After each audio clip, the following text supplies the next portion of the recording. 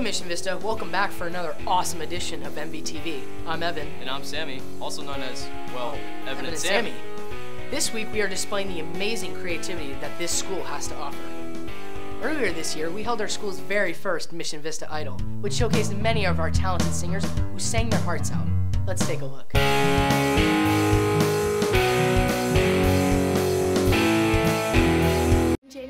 30th, 2013, Mission Vista had its first ever talent competition called Mission Vista Idol.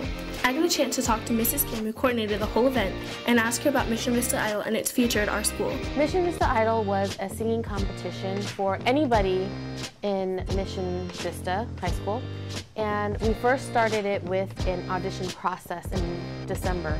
And so we only had one round of auditions and then we made cuts. And then those people made it to the show.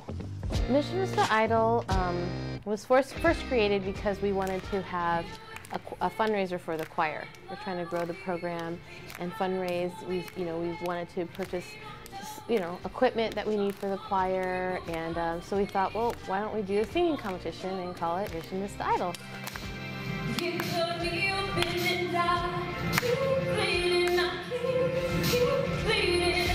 I would totally love to do Mission Vista Idol again. I thought it was a really big success. Um, there are some things that I would do differently, and I think what I would do differently is have four judges and perhaps have them from different uh, genres of music.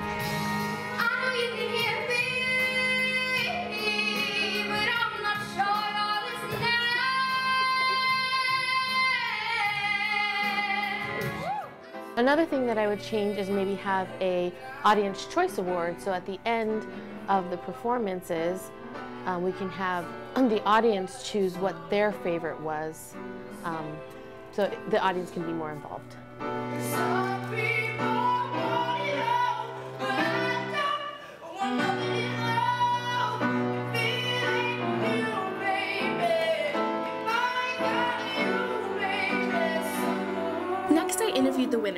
Davis, who shared her experience during the competition. It was a really good experience. It was the first competition I participated in, and it was a lot of fun. I'm just very thankful for being able to participate, and I can't wait to see what Mission Vista Idol brings for years to come. Mission Vista Idol was an amazing show with many talented acts. I can't wait to see it get better every year. From MVHS News, I'm Michaela. Wow, those singers just blew my mind. It just gets me so inspired, you know? Like, babe, babe. Whoa, whoa, okay. All right, Sam, that's enough. Let's continue. Anyways, our next feature highlights some of our very talented dancers here at Mission Vista, who recently performed at the 2013 Fuse Dance Show. Let's take a look at some of their smooth moves.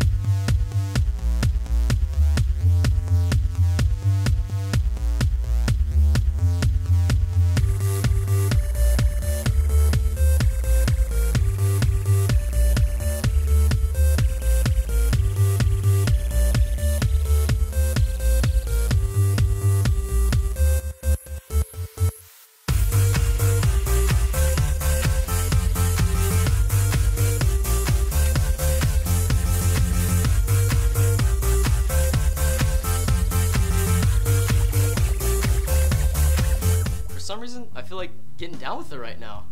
You know what's funny? Me too.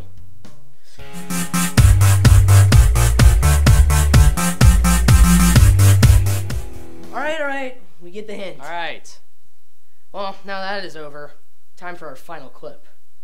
I know, I know, but our final story is our Wolfpack performance, which showcased a variety of our students' talent here at Mission Vista.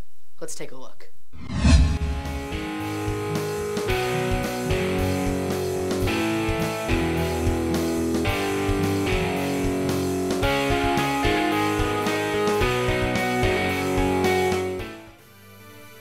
Earlier this year, Mission Vista hosted its annual Wolfpack, showcasing all the wonderful art, music, dance, and singing Mission Vista has to offer. This was a great way to show what Mission Vista was made of.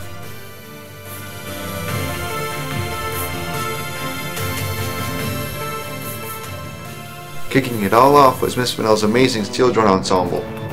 In Steel Drum, we performed the James Bond theme, um, Men at Work's Down Under, um, Stevie Wonder's Sir Duke, uh, Matisyahu's One Day, and Led Zeppelin's Kashmir. That was a preview actually for our March 19th concert. We're going to be playing those same five songs and a few, a few minutes. Next off was another of Miss Fennell's wonderful classes, Music Comp. We asked what it was like creating their Music Comp piece. I enjoyed uh, making my music comp piece because it was minimalist and it really opened me up to a whole new spectrum of composition that I wasn't originally, you know, uh, exposed to. So it was a total learning experience and it's really fun to, you know, share that experience with an entire audience. So four of us from the class decided that we wanted to present our piece for the entire audience. So we had a great time doing that. Lastly, choir and musical theater finished it all off. We talked to musical theater students asking them about their upcoming performance, Bye Bye Birdie. Bye Bye Birdie is about Conrad Birdie, who is leaving to go into the army. He's auctioning off one last kiss, and uh, my character, Kim McAfee, wins it, and she lives in Sweet Apple, Ohio. Basically, just the conflict between the older, more mature adults and the young, rebellious teenagers, and just everything that coincides with that. I would recommend musical theater. It's just a wonderful experience, and everyone is treated like family.